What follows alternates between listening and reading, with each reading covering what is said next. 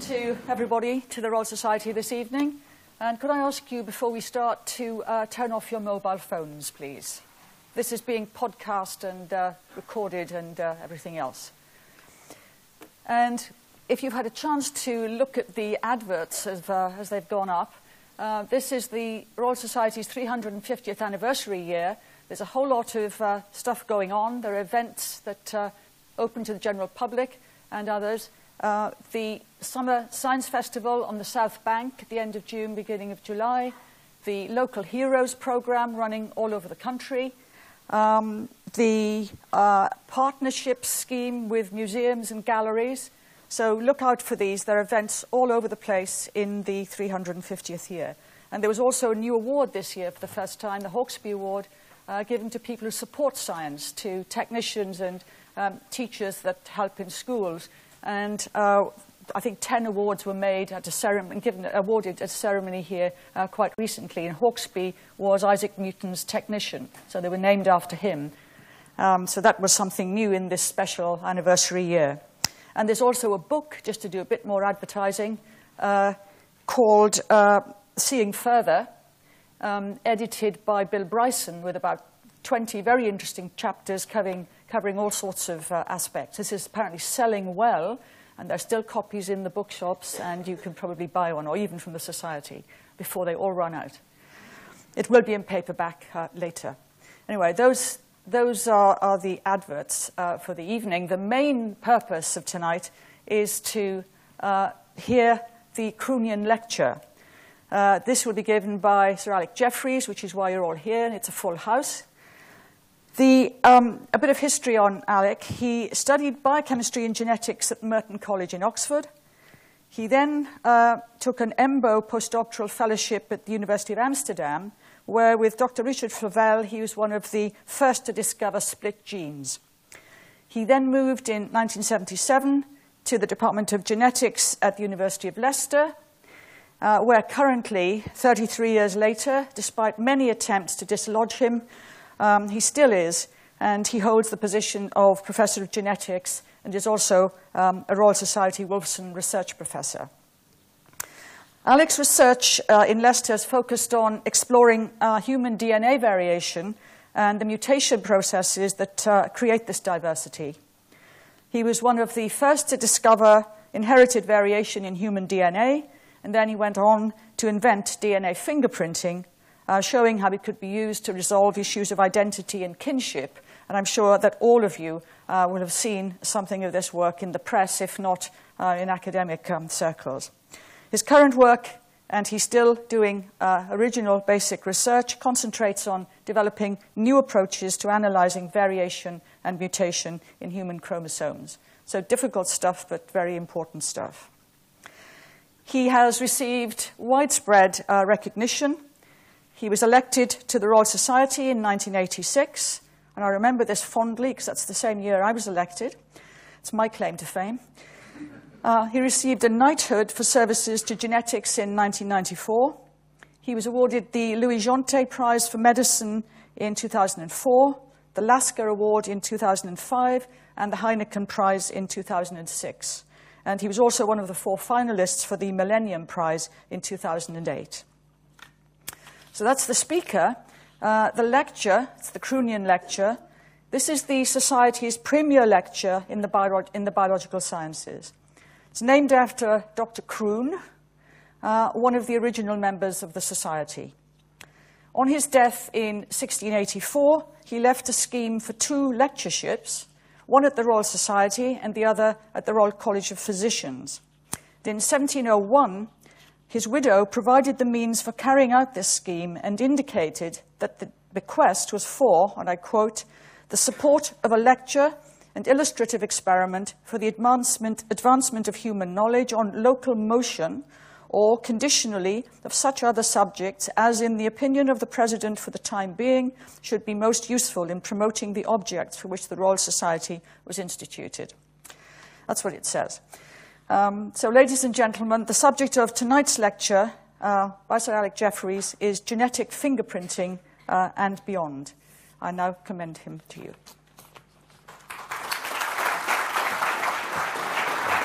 Thank you. Well, good evening, everybody. Uh, I'm absolutely thrilled to be here, uh, standing in the footsteps of some true titans of science that have given this lecture over the centuries. So I have to confess I'm feeling a bit nervous as well, but there we go. Let's, let's move ahead.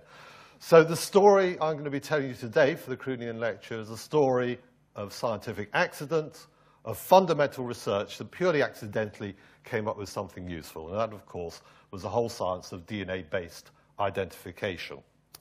So I'll also be telling you a little bit about more, our more recent research of not just using DNA for identification, but trying to understand some of the processes that generate this huge amount of genetic diversity uh, that we all carry.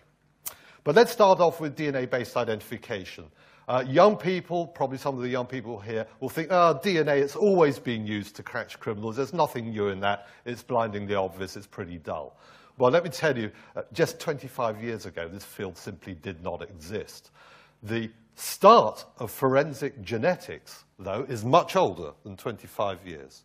That starts with this chap, Karl Landsteiner, who discovered one of the first simple Mendelian genetic characters in man, the ABO blood group system. In an amazing but totally unpronounceable paper, the uh, title of the paper is at the bottom there, uh, speculated back in 1902 that ABO typing could be used possibly to look at family relationships and possibly to identify people or exclude people from blood traces at the scene of crime. That was an astonishing uh, prophecy, an astonishing prediction that totally came to, to, to pass. So by the 1970s, 1980s, this was a very mature field using blood groups and other types of gene product variation to sort out family relationships and to carry out criminal investigations. So if I had been here 30 years ago, I wouldn't have been using the word DNA, or the initials DNA. This is the gobbledygook I would have been talking about, ABO, rhesus, MN secretor, blah, blah, blah. These were all blood group systems. They're great systems, but they had serious limitations I won't go into. And with the wisdom of hindsight, which is a very dangerous sort of wisdom, it was quite obvious that the way forward was going to be with DNA. But we had to wait three quarters of a century before that became possible. My own group at Leicester and a group in California were the first to describe directly detecting variation within the DNA double helix, variation in terms of the precise DNA sequence. And the sort of variation we're looking at there was subtle variations at the level of individual chemical letters or bases in the DNA. At that time, very difficult to detect, very indiscriminating. There's only two different versions at a, a given base position, if you can find such a position. This really wasn't terribly informative. And we started thinking in the early 1980s that surely within this immensity of DNA that, that, that, specifies a human being, there ought to be bits of DNA that were much more variable than this. And we started focusing in on regions of DNA that we call mini satellites, which consist of a short sequence, typically about 30 base pairs long, of DNA, which is repeated over and over again, giving you a very different sort of potential for a very different sort of variation, not in DNA sequence, but in the number of these stutters or repeats at a given position. So we got very excited by this. Uh, there were a few examples out there showing that these things really did exist, but we had no way of generically getting these bits of highly variable uh, DNA in the human genome. Why did we want these? Of course, were some very informative genetic markers, primarily for medical genetic analysis. So the true story of DNA fingerprinting and how to get at mini-satellites starts, of all places, in Madingley, near Cambridge, at the headquarters of the British Antarctic Survey, who very kindly provided us with a lump of meat from a grey seal. Why did we want this? Because we were looking at gene evolution, and one particular gene we were interested in was expressed at very high levels in seals, making it rather easy technically to isolate the gene.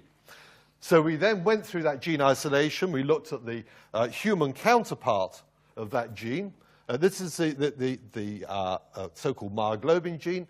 And we found tucked away inside the gene one of these mini satellites that had the very strange property of being able to very weakly detect other mini satellites in human DNA, as if they were sharing some sort of DNA sequence in common and DNA sequence analysis, uh, pin that down to a short patch of DNA, this little red patch here, which was shared very similarly across many different variable mini satellites. So we thought, oh, if you want to get lots of these highly variable bits of DNA, all you need to do is to make a, a so called probe, a segment of DNA consisting of just this red bit stuttered, and that should be really good at latching on to many mini satellites in human DNA. So our job was to isolate lots of super highly informative genetic markers at the DNA level for the medical geneticist. But before we did the isolation, we thought we'd better do one experiment to see if the theory was right. So we reacted this probe with what we call a Southern blot, a, a, membrane containing various DNAs, just to check that we could detect lots of variable DNA fragments. And that's what we did. And I'll tell you when we got this result. I can pin it to the minute. Okay, I know exactly when it happened, because this is the moment my big eureka moment, this is the moment that changed my life and subsequently has changed the lives of an awful lot of other people as well. This proved to be the world's first DNA fingerprint. So here we have a family group, child, mother, and father. We can immediately see a sort of fuzzy barcode-like pattern discriminating all these three people apart. And you can see what appears to be a simple pattern of inheritance.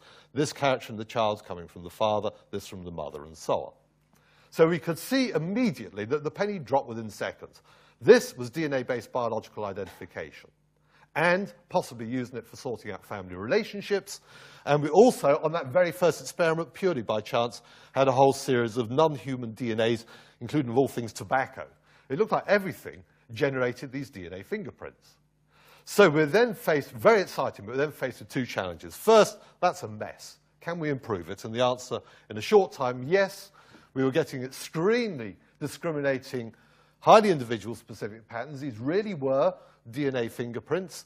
And let me just tell you that this group of people being shown here, these are not unrelated. That's dad and his 11 sons and daughters, all first degree relatives, all readily distinguishable in a single DNA test. Note how simple the inheritance is. So, for example, this band in dad is inherited by some of the children and not by others. And then we have bands like this, which are inherited not from dad, but are present in multiple children, they come from the missing mother. Do we need mum? No, we can rebuild her by subtraction in that family. Don't need her at all. Okay. So at this point, we're fairly sure that this was going to be technology of real practical utility. The thing that amazed me is that within seven or eight months, we'd actually been asked to take on the very first case. It's an immigration dispute involving a young lad threatened with deportation from the country because he is believed not to be a son of the family, but instead a nephew to the family. So this is the first time DNA has ever been used in any casework anywhere on the planet. So here we have the mother. Here's a boy threatened with deportation, three undisputed children in the family, and it is incredibly simple. This character in the boy clearly comes from mum, present in one of the undisputed children. This character in the boy from mum, this from mum. This one, not present in mum, but present in two undisputed children. That's come from the missing father. It's as simple as that. Every genetic character in this boy matches mum or the missing father. He is a full member of that family. He is not a nephew, and we provided that evidence back to the Home Office, who promptly dropped the case against the boy, and uh, he was reunited permanently with his family. It's a really good news story to start off the story of DNA fingerprinting. Science beating bureaucracy. Not a bad start. Okay, that opened up the floodgates of publicity. Within a few months, we'd taken on the first paternity case, and then it was two insane years before eventually the technology went commercial with the founding of uh, Cellmark Diagnostics, and we have one of the founders sitting right in front of me here, Paul Devlin. So good to see you, Paul. Um, and that was a, a tremendous success. Also, it was a great relief for me as this technology was got off my back. We were the only lab in the world, pretty well at the time, who could do this, and we could see the whole thing going commercial. And it's quite interesting to look at the profile of casework that Cellmark processed over the first 10 years of operation. And the original volume work was immigration. That died away because there were only so many people trapped in immigration disputes. And then with a small lag, it was paternity casework that really took over. But the important point about this graph are the numbers up the side here. So within a short period of the basic discovery, here was a technology reaching out. These are numbers of cases touching the lives of thousands upon thousands of people, and in a very deep and intimate and important way. And that was actually pretty awesome. So there are all sorts of uh, other things you can do with this DNA fingerprinting. I'll just give you one example from the world of conservation biology, and I'd like to acknowledge my uh, colleague Esther Signer, who did this work.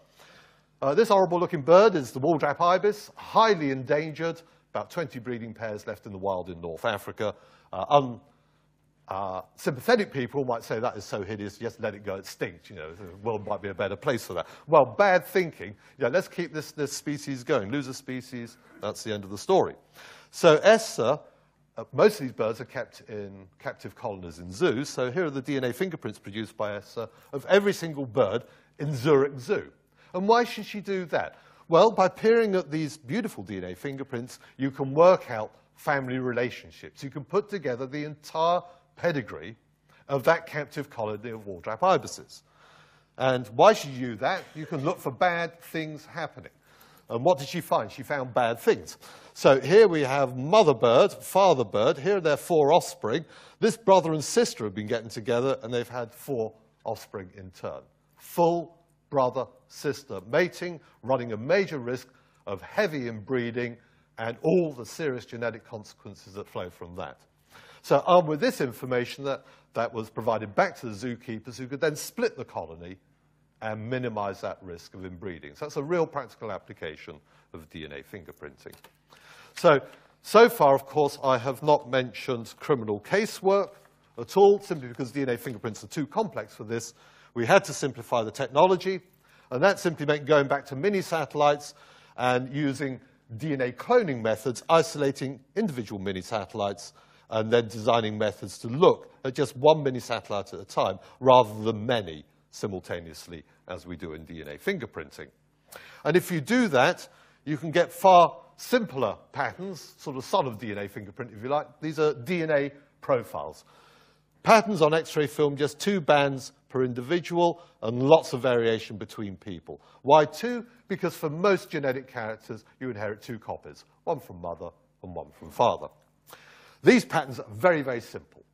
You could take that, you could apply them to casework, you could take that evidence to court, you could explain it very simply to a jury, even the judge could understand what it meant, uh, and, and, that was, uh, uh, that, that was clearly going to be the way forward in forensic investigations, and indeed it was.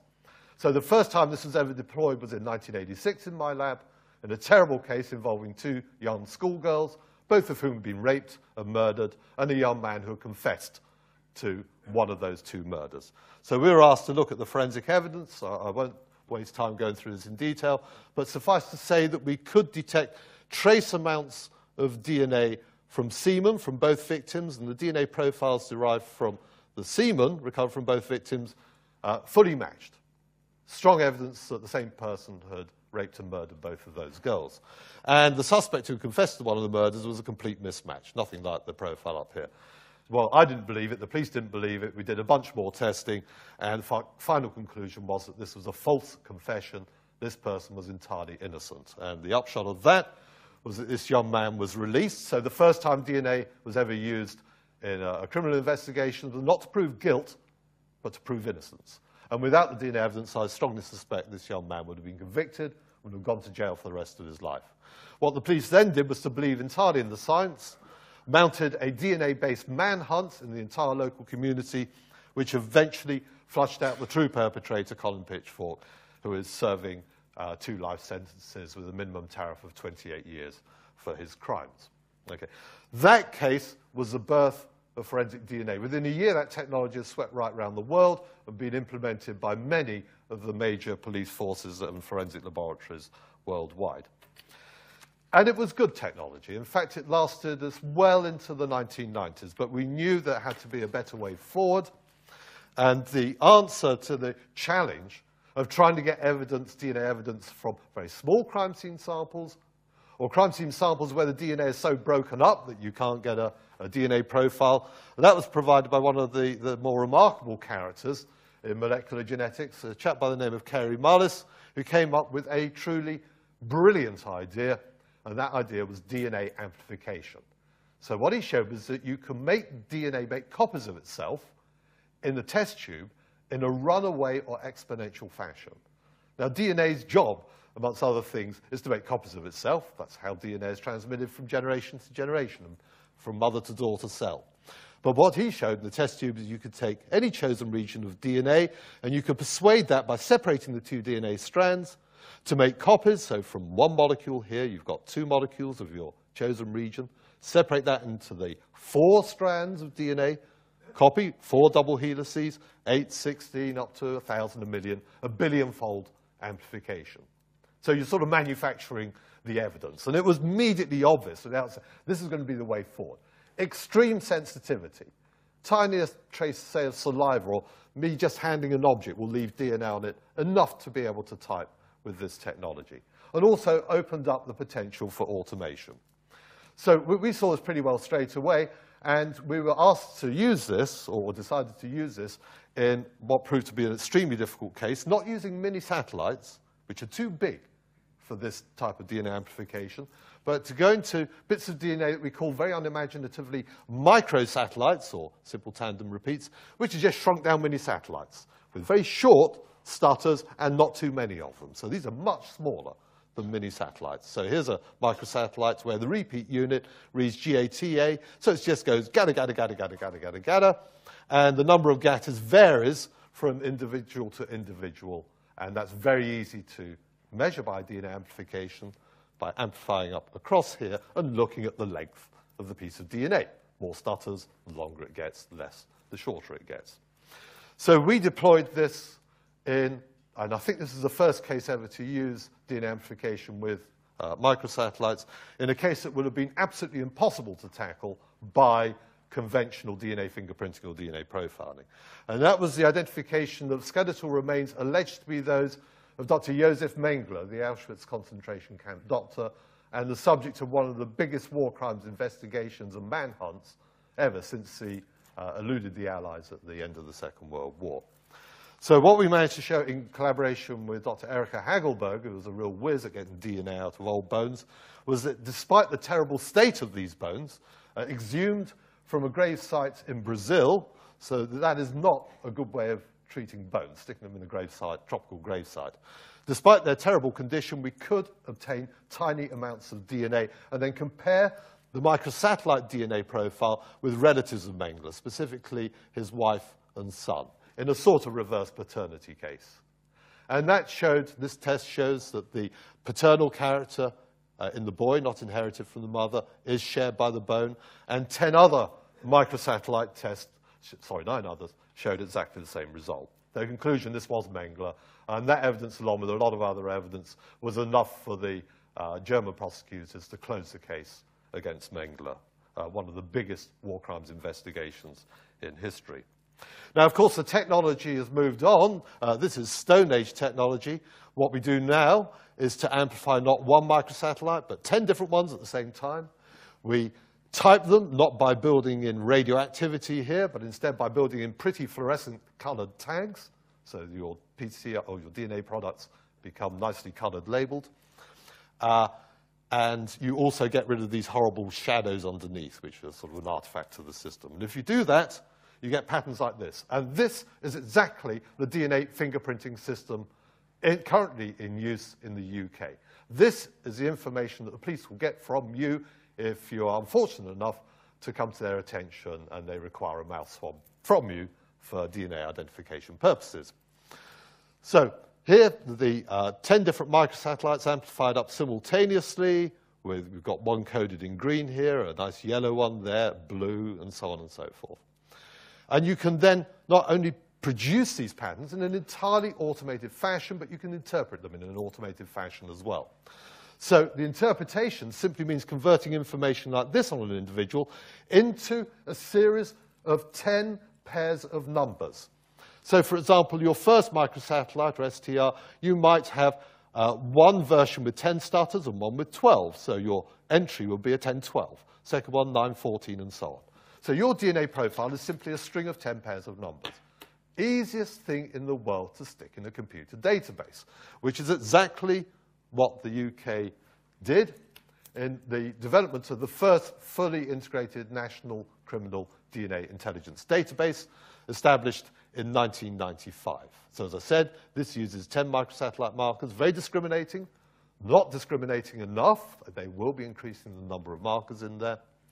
And the original idea was anybody uh, convicted of an offense would go into that database, so if they reoffended, they could be speedily brought to justice.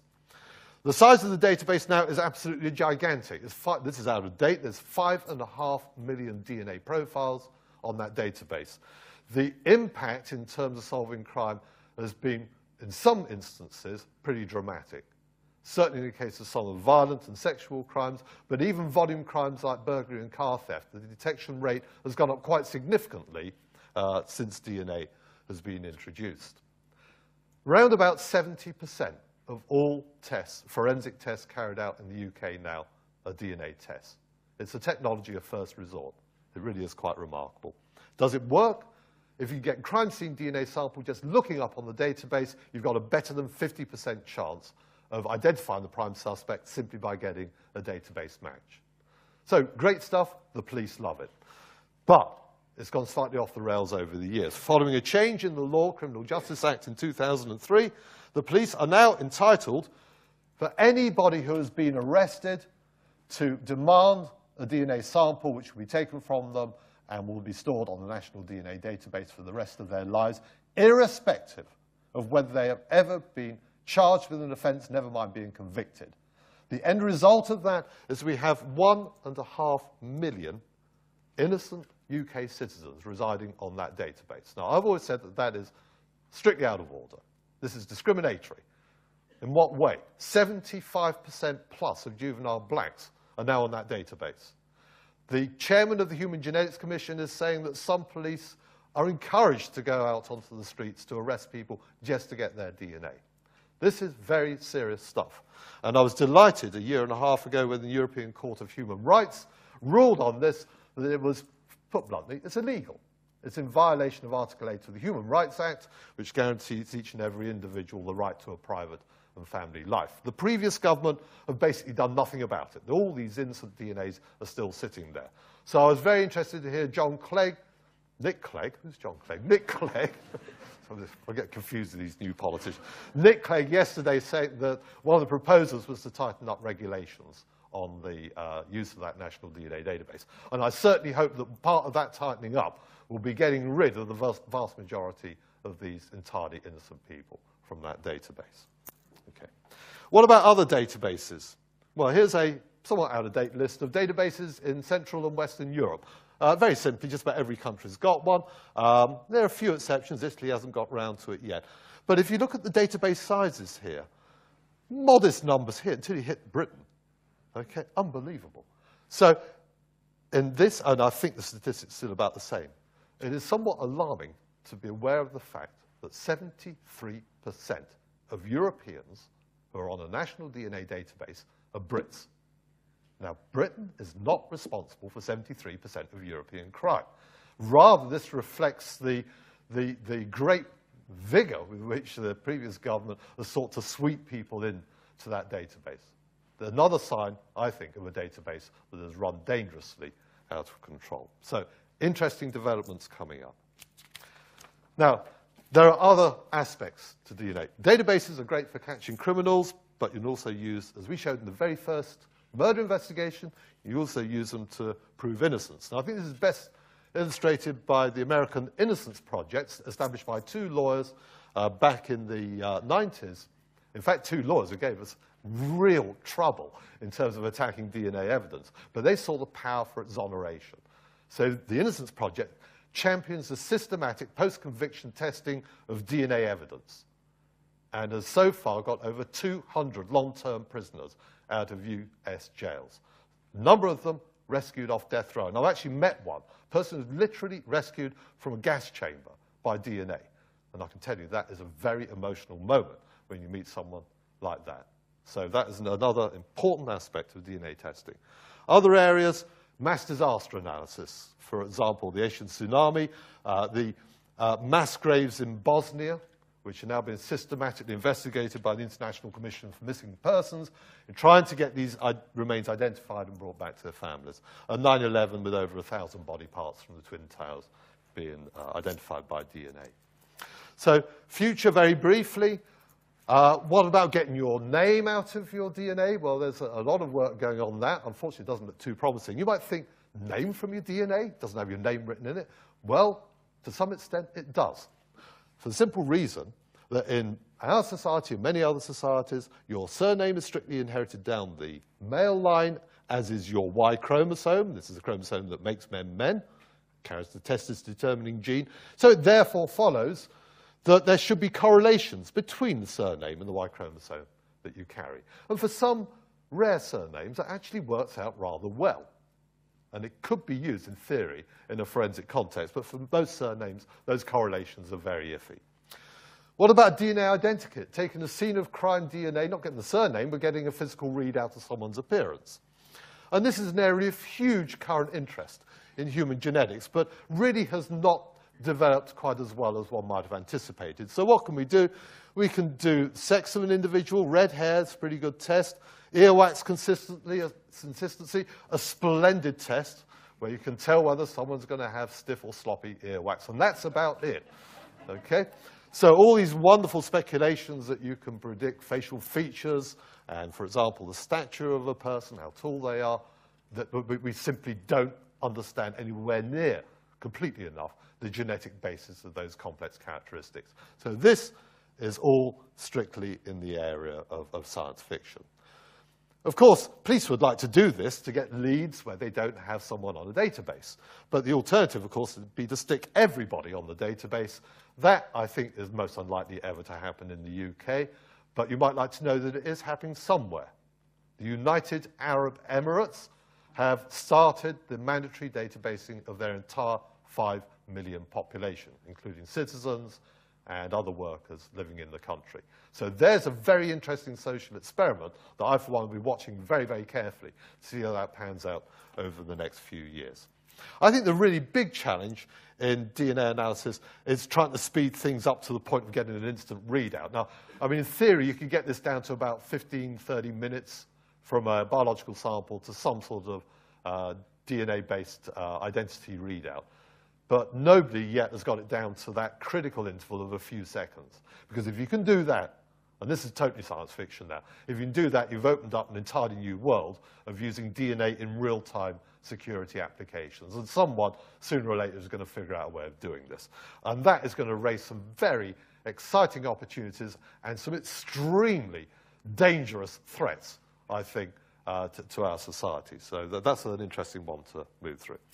So that's the end of the first part of the talk, um, but the larger part of the talk. What I would like to do now is to take you on some more recent work, because all of this is applied science, but underneath it is a thing that drives me all the time, which is the pure science, trying to understand some of the some of the most fundamental aspects of human genetics. And what are we trying to understand?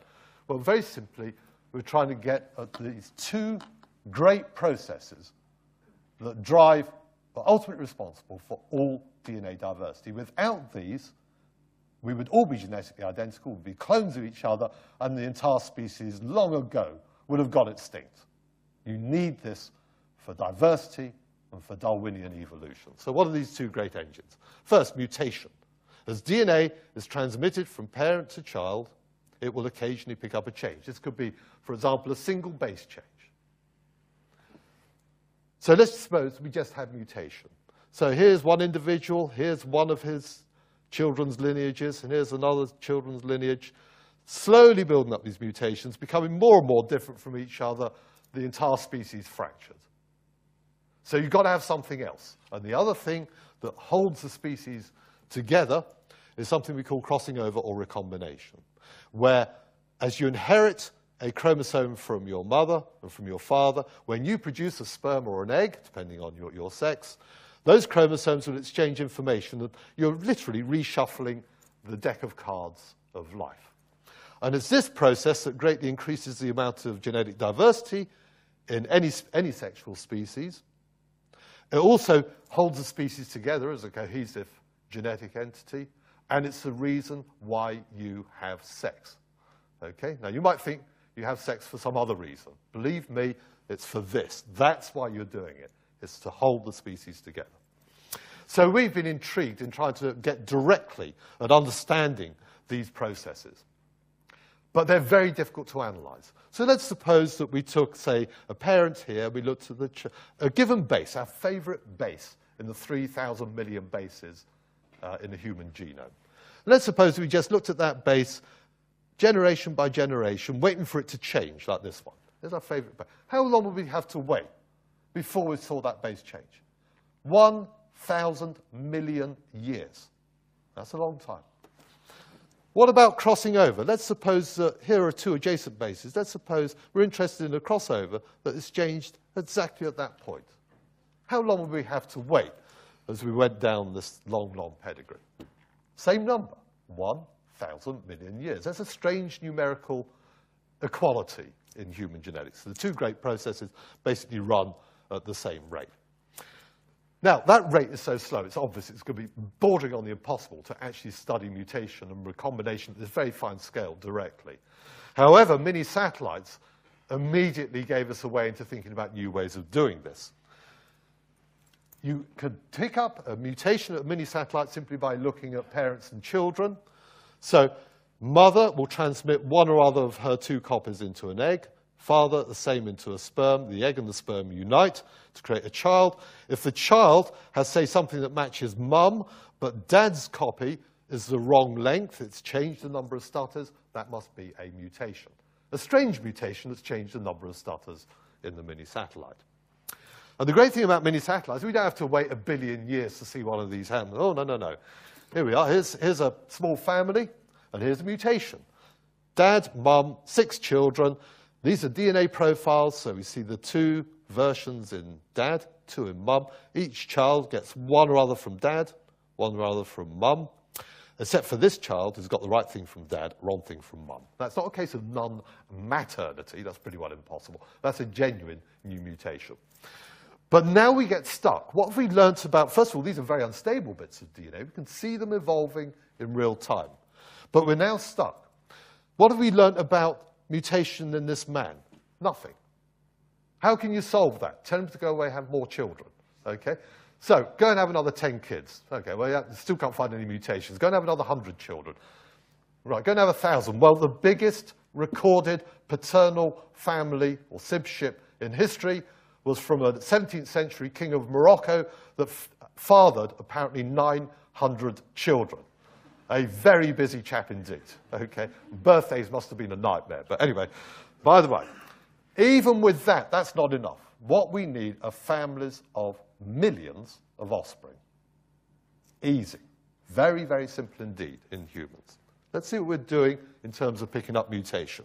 So to pick up mutation, what we're doing is looking at the child to infer what's happened in the egg or sperm.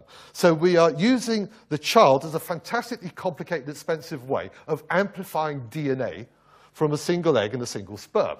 And as a father of two children, I can say, tell you it is complex and extremely expensive to do it that way. It's much cheaper to do DNA amplification at the level of a single egg or sperm. Eggs are very difficult to get. Sperm, without going into the obvious details, very, very simple to get. One ejaculate is 100 million sperm. Those are 100 million absolutely bona fide offspring that you've had as a man. Okay? 100 million offspring. And what we can now do is to use that approach to break through this small family number into numbers that before only enjoyed by bacterial geneticists and so on. And it really does work. So here, here's our family. If we take a man now and simply amplify about 100 sperms worth of DNA at a go, most of the sperm don't carry a mutation at this mini satellite, but each of these bands here is a new mutation. So this man, we can work out the frequency of mutations in one experiment that takes about a day. That person would have had to have 1,800 children for us to get the same information. It's a very efficient way of doing it. And what have we learned from these approaches? Well, for microsatellites, uh, the jury is still to some extent out. They're actually very difficult to study in terms of processes of mutation, but they probably change their number of stutters by encountering problems when DNA is replicated or repaired. For mini satellites, the story is utterly different. Mini satellite mutations arise as part of this sexual process of recombination. You do not see these mutations in, say, blood DNA. You see them quite specifically, for example, in sperm at very high frequency and they arise by aberrant meiotic recombination. And that got us really interested in if the instability in a mini satellite is caused by abnormal crossing over processes, recombination processes between chromosomes, is that something that is an intrinsic property of the mini satellite, or is it conferred upon it from without? And the answer seems to be it's conferred from without. Because as we've shown, uh, by again direct sperm DNA analysis over the, the last decade or so, uh, that these crossovers are far from randomly distributed around along human chromosomes, but instead cluster into these very narrow hotspots. And it seems that occasionally a hotspot can generate a mini satellite as a sort of parasite bit of DNA that has latched onto this crossing over machinery and gets spewed out of the side of the hotspot, a bit like sausages out of a sausage machine. Okay, so these hotspots are very narrow, about 1,500 bases wide. They seem to be very common in the human genome. So who cares? Does it have any effect on human DNA diversity? Well, for the human genetics nerds here, I'm going to show, about time I showed some data. There's some real data from a study from quite a while ago. This is just to make the point that the impact that these hotspots have on patterns of DNA diversity is gigantic. It basically, remember, crossing over is like taking the deck of cards and shuffling them. It shuffles the genetic deck between generations. But by concentrating all your activity into these narrow hotspots, it's like trying to shuffle a deck of cards where great wadges of cards are bound together with a rubber band. You wind up with a really bad shuffling process. And that is the system the, the, the, the, human genome, for some perverse reason, has adopted. So what you see, if you look at patterns of DNA diversity, of these, these chunks of DNA where basically the, these think they're in an asexual organism. There's no evidence of reshuffling by recombination in the entire history of, of, a human population. And then you get these abrupt regions here corresponding to hotspots where super shuffling has gone on. So basically, most of our genome doesn't know it's in a sexual organism, and that is pretty weird as well. Okay. So those are some of the things that we've been doing in recombination. So there's lots of challenges left, of course. Most of the time, when chromosomes come together and exchange this information, you get a, uh, in some cases, you get a crossover, but more often than not, the chromosomes come together in a strange embrace. Your mum's and dad's chromosomes. They embrace and kiss and then pull apart, and they leave a little kiss imprint on the other chromosome. That's what we call a conversion, transfer of a little piece of DNA. And that's something we're very interested in trying to understand. This process, we understand quite a lot about crossover, this strange little patchy transfers of DNA between chromosomes. Very important, understand very little about the process.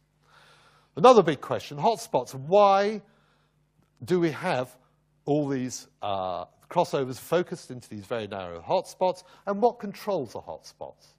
And that remained a complete mystery until three publications just earlier this year, or in fact just after Christmas, uh, given a clue which we're very actively following up at the moment. What controls the position of hotspots? Well, I should have audio now with a fanfare and a big roll of drums. Because what controls it is our old friend, a mini satellite. Quite extraordinary. The last thing on Earth I would have predicted. So here is a mini satellite inside a gene. The gene makes a protein. When the, the information in the mini satellite is translated into the protein, it produces a little sticky finger, what we call a zinc finger, sticking out of the protein. And that zinc finger feels along chromosomes. It looks for something it likes to stick to, and where it finds a nice sticky bit, it fires up a hotspot. So here's a very interesting situation where these hotspots, this fundamental process, we've now, the, the, human genome has now invested basically all of its uh, uh, currency in this process in something which is coded by a somewhat unstable mini satellite, which we know is evolving pretty quickly. So there's a weird thing. And actually, there's a good reason why it might do that, which I won't go into. But we're now left with a really bizarre world where we have a mini satellite that codes through a sticky protein that fires up hotspots, some of which create mini satellites, some of which could be things that regulate hotspots, and you wind up with an infinite regression. And at that point, my brain turns into a sort of grey sludge, uh, which means that there's an awful lot of stuff that we need to try and understand. Other areas, recombination can go wrong, big time.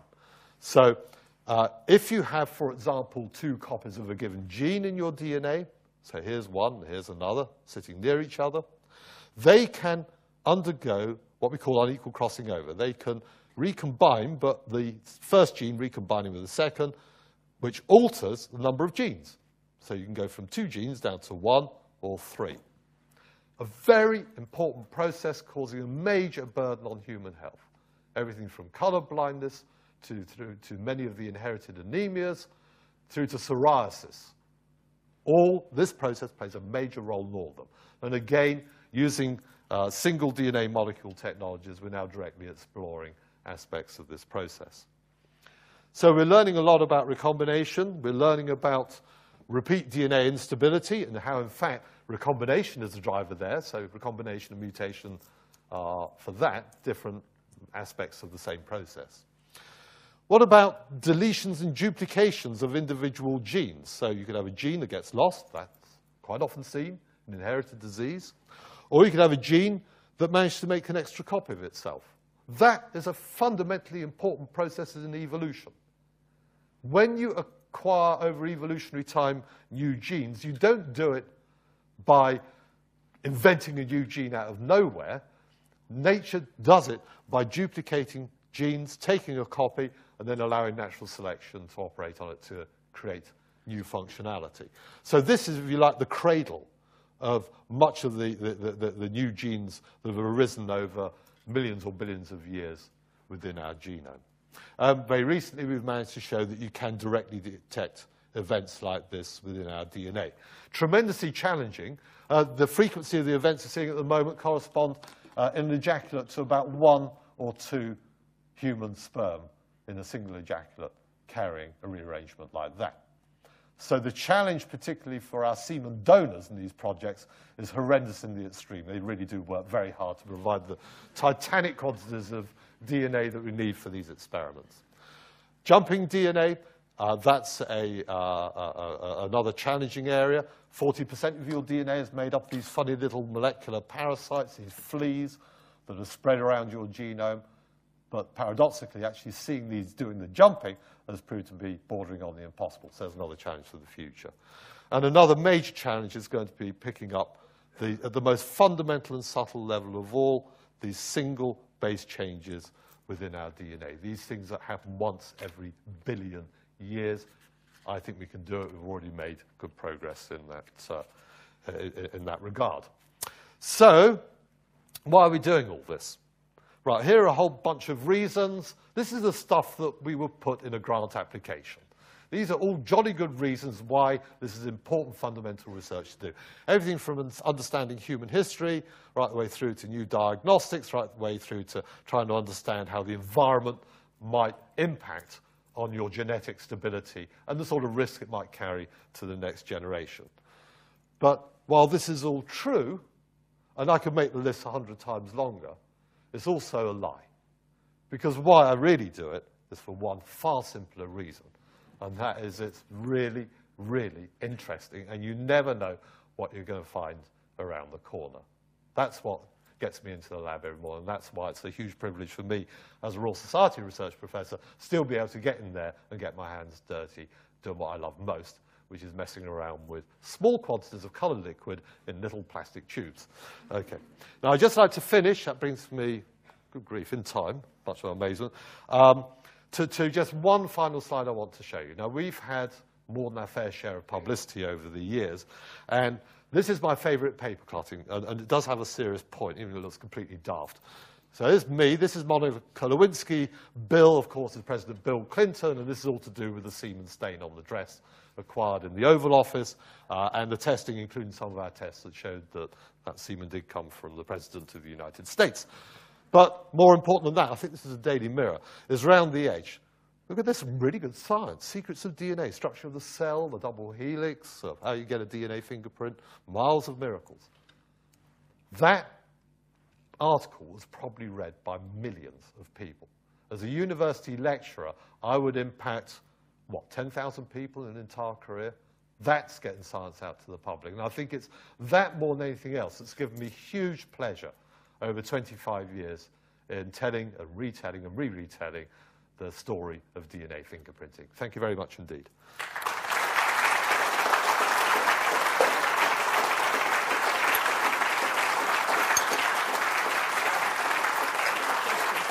Got it.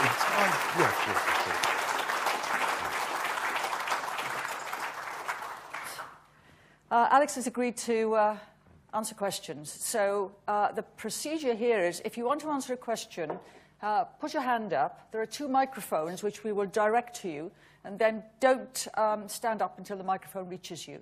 So we could have several hands, and then we can position the microphone so that the thing turns over quickly. So who would like to ask the first question? Okay, one here. Anybody else so that we can get a mic to you? Right, just think about it.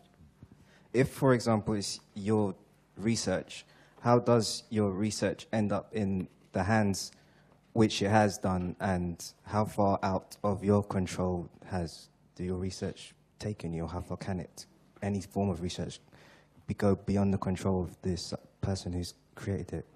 Yeah, that, that, that's a really good question. The, the, so the question is, um, I think you're referring to the DNA database uh, and, and, what I see as some really quite serious abuses in the way that it's being used. I, I don't own the technology. I never have. Well, okay, we have patents, but that, that's by the by. The technology is far, far bigger than one person, so there's no way that I, as an individual, could ever control that. My, the only thing I can do is to stand up and make my voice heard, I hope, if I see things going off the rails, and that's certainly what I've done over the years. Um, and that's really all I can uh, together with an apology for the way that this technology has been abused. Um, I can't say much more than that. Other than if you look more worldwide at the balance of good and evil being done by this, I think the balance is very heavily in good. I mean, it's getting rid of a great deal of uncertainty in civil and criminal casework. It's releasing people from jail in some cases, they've been you know, in jail for three decades or more. There have been cases in this country of that sort of magnitude. So that there is great good in this, but there is also abuse, as you would see with any technology. Um, I do not take credit at all for all the good that's been done for it, uh, and I would take a bit of responsibility maybe for the bad, but not wholly that. So sorry. yes, one, oh, one then, one here. Thanks a lot for your talk. Very, very fascinating, as you, as you said. I wonder, um, you showed us different kinds of variation, um, like the hotspots or the satellites or the duplications. Um, and I wonder what you think is the most relevant for health.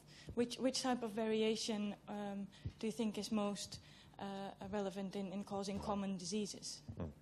Right. Well, there's, a, there's one fundamental law that governs DNA diversity and its impact on, on human disease. That's called Murphy's Law.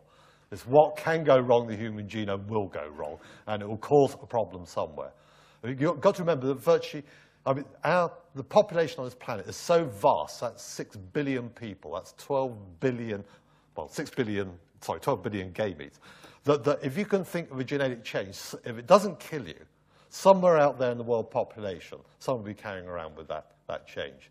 So I think to try and single out any particular change and say that's more important than another um, is difficult. There are plenty of inherited diseases that are caused by just a single base change. Sickle cell anemia is a very good example of that. Just one base changes catastrophic consequences in terms of your hemoglobin structure and physiology. Other cases, there are diseases that, that, that arise because of rearrangements of millions of base pairs of DNA or indeed, you know, with Down syndrome, it's gain of an entire additional chromosome. So it, it, it's, there is no, there's no simple answer. It, if something can muck you up, it will do, if that makes any sense. Yeah. Uh, one here and then Richard. Yeah. Hi. I suppose the, the biggest concern that uh, people would have regarding the DNA database is false positives and misidentification. Really, that's the problem. Um, could you talk a little bit uh, uh, to the, the, sort of probabilities involved, why that might occur? Is it just experimental error, or is there a sort of fundamental reason why sometimes two people's DNA would match up when you wouldn't normally expect it? Right. Well, the, the, in terms of getting a complete match, the easiest way of doing that is, is to have an identical twin. Uh, that provides you with probably the very best genetic alibi you could have. So if you're going to go on a criminal career, make sure you've got an identical twin because the defense is always, I didn't do it, my brother did it. Yeah, and that's actually happened in court. And remember, a criminal case has to be decided beyond reasonable doubt, and there's nowhere dividing between. So uh, identical twins are pretty good if you, if you, want to launch into a criminal career. Uh, but the database itself, I mean, the, it's, it's, not just the fact that there are millions of people on that database, but every year hundreds of thousands or indeed millions of searches are done. Every new crime scene sample is put over that database. So the number of comparisons, pairwise comparisons being done every year is in the trillions. So when you talk about a, a 1 in tr a 10 trillion likelihood of you and me matching, multiply that up by trillions of searches, you're going to get matches out there. And indeed, there are, to my definite knowledge, there are two examples of brother pairs who are not identical twins on that database who have exactly the same DNA profile. And that's been proved by doing additional DNA testing and showing they can be distinguished. As the, uh, the, the, the, current proposals move ahead to integrate the UK DNA database with all the European databases, the number of searches goes up pretty dramatically. And I think at that point, the number of markers, indeed I'd argue already, the number of markers have got to be increased. But then I think that this whole issue of a false match then comes back to the integrity of the database. Now, databases of millions and millions of bits of data will have errors in it. There'll be entry errors, transcriptional errors, and all the rest of it.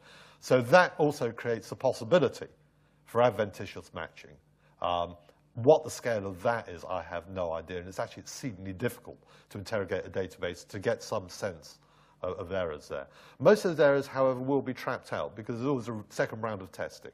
So if you've got uh, yeah, the, the crime scene sample matches Mr. X on that database, there'll be a second round of testing. The second round of testing, incidentally, uses exactly the same genetic marker, so it's not really independent tests, but at least it goes uh, a long way towards trapping clerical errors within a database. Richard Dawkins here. When you were um, de decrying the very, very large um, police database in Britain, you kept on using the word innocent people. Mm. And when you switch to talking about, was it Abu Dhabi or one of those, yeah. um, you seem to view with equanimity the prospect of a country having everybody. Mm. and I tried to think, why would I object to having my DNA on a national database, assuming that I'm not a criminal? Yeah. I could think of two reasons. One would be possible paternity cases. Correct. Speak for yourself. I'm speaking. I'm speaking in generality here. Yeah. Um, and the other would be that it might get into the hands of life insurance actuaries, um, which might affect my insurance premium for. A, I mean, there, there are sort of reasons like that. But when you get to reasons like that, then somebody who is not innocent, I mean, uh, somebody who is actually guilty of some crime, mm. is surely entitled to some protection against paternity and uh, life insurance uh, claims. So right. why make such a big thing of people being innocent? Because it doesn't seem to make that much difference in those cases where any of us might mind. I actually wouldn't mind being on, on a national a national database. I'm quite interested to know whether other people would feel their individual liberties threatened. Is there some way of legislating so that you can only do those sorts of satellite regions where say it couldn't be used for mm-hmm. life insurance yep. purposes. Well, the, the, the, current, yeah, I mean, these are all very good points. Let me just say that I'm not advocating uh, universal database. I merely gave uh, the United Arab Emirates as the first example of where that is going to happen. So in, in no way did I indicate that I thought that that was uh, the way forward. Right. Well, why, why would I, as a private citizen be worried about, with no criminal records and no intention of getting a criminal record, of having my DNA on that database. It's the old argument from politicians in particular that, that, if you're innocent, you've got nothing to hide. Stick, stick your, your, your, DNA on the database. Well, there is a threat there. So the, the threat is that these databases are imperfect. There could be a glitch. So the, the best I could hope for, and I'm going to use words that I actually used to a, a, a Home Affairs Committee recently, the best I could hope for is nothing will happen for the rest of my life as my DNA sat in that database. That's the best I could hope for. The worst I could hope for is there's some glitch in the database that results in an erroneous match with me, which puts me right in the uh, frame of a major criminal investigation, causes untold chaos until the final DNA testing clears me from that particular investigation. That's a threat to me as an individual. Also, with familial searching, this ability to link family members together. It not only brings me into that threat, but also brings all my, my close relatives into that threat as well. So I think that's a real threat. It's a real threat of any database created by man that's going to be full of, full of errors. But that would be true of somebody who's yeah. been arrested for a trivial crime, who then goes on the database and once then might be threatened in just the same way for a, for a, for a murder. Yes, I think there's no. We, we need to get back to the idea that, that which people should be populating that database, and the answer to that very simply is, people who've been convicted of, a, of, of a, at least some classes, if not all classes of criminal offence. That that was the concept right at the beginning. Even organisations like Liberty have never argued against that. Um, so coming back to your point about health insurance and so on, you don't get that information from DNA profiles as generated. The DNA samples are indeed stored uh, in a repository, uh, but, but there's pretty strict guidelines about what you can and cannot do with those. So I think that's a, uh, with respect, that's a red herring. So, so health issues not there. Uh, paternity, there can be ways of getting around that by taking, paternity only works if you have a DNA profile, but you can take that 10 pairs of numbers and you can encrypt them. You can scrunch them down into a personal identifier number from which you cannot get a DNA profile. That strips out everything other than personal identity. You've got no family relationship information, no ethnic origin information, no nothing. It's just an identity number. Might be a way forward.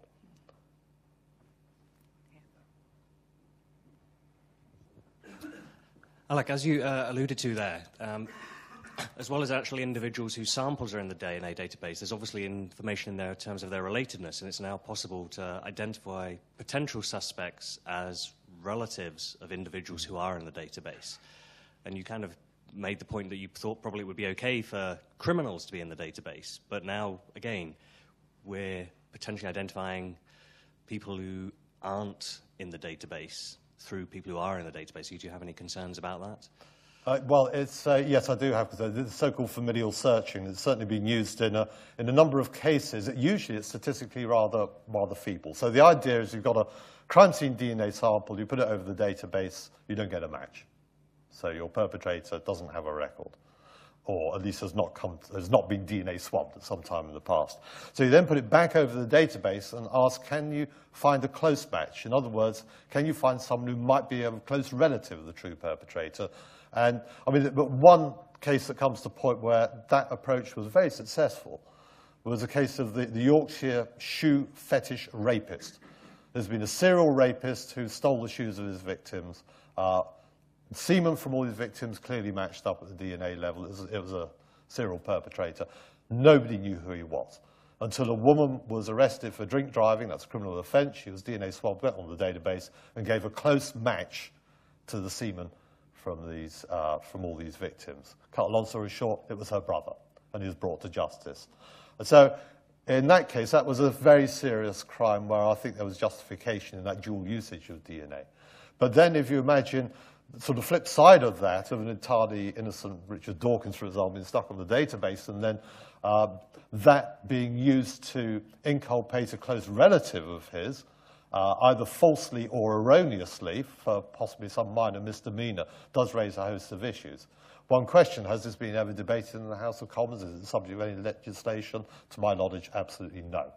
So I think, again, it's a technology that I'm not, I'm not blaming the police in any of this at all. They will do whatever they wish within the framework of the law. The problem is the legislation, which simply has not caught up with the way that technology has been really quite imaginatively deployed over the years. Uh, so it's the law that's got to change. I think this may be, uh, Madeline's this um, fifth row along. I think this may be the last question, unless there's a burning issue. Building on fire. Um, there was a lot of publicity some years ago. Someone had sequenced the human genome. Mm-hmm. Now you are showing, um, it probably was obvious from the beginning, there are lots of different sequences. So, what did it mean, sequencing the human genome?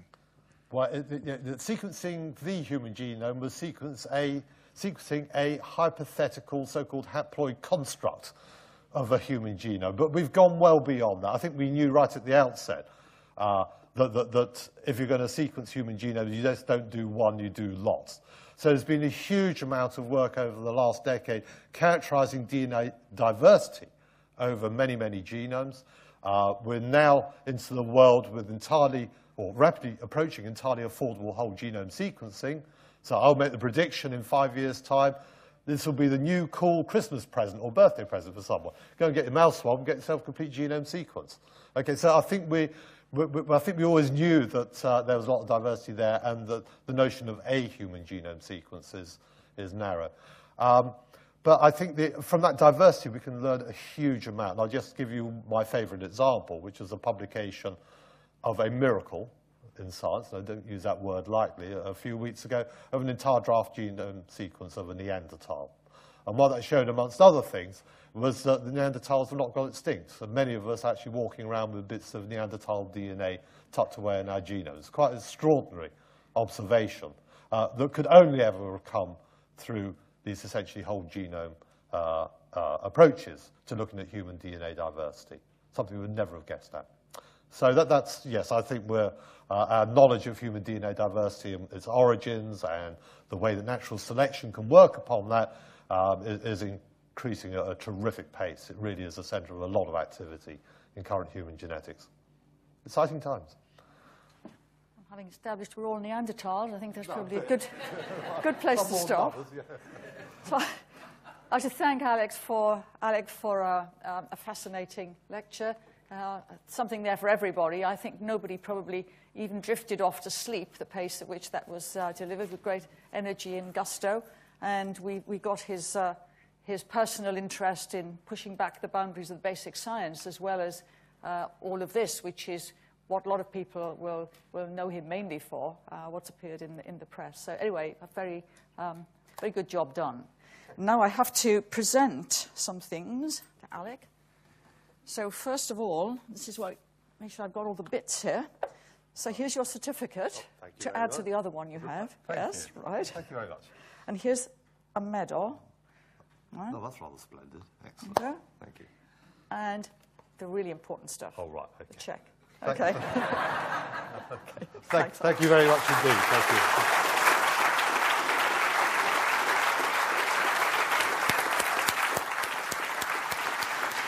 Can I?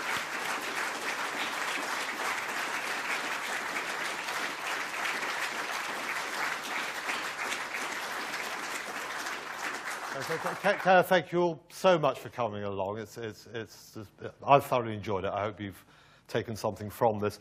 These, I, I'd like to thank the Royal Society for all the support they've given me over the years. It has been terribly important to me and my own career. These, these are all deeply appreciated gifts. I was hoping for a wig a la William Croone to cover my uh, lack of hair, so you failed on that point, but uh, other than that, thank you very much indeed.